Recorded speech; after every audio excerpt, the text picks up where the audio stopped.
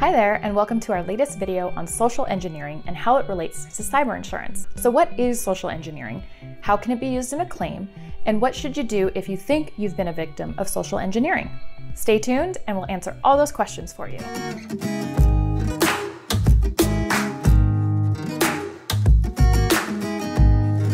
The definition of social engineering in the context of information security is the use of deception to manipulate individuals into divulging confidential or personal information that may be used for fraudulent purposes. People with an online account should watch for phishing attacks and other forms of social engineering. Social engineering is a general term used to describe types of security incidents where malicious actors or criminals trick an individual into taking an action such as giving away sensitive information or credentials, making a transfer of company funds, or making purchases on their behalf. A recent real world example of social engineering was the widespread breach at Robinhood. An actor called in a customer service employee and eventually gained access to their support systems which contained customer information like full names, email addresses, and even date of births. You already know the importance of cyber insurance, so ensuring that your policy includes social engineering is critical.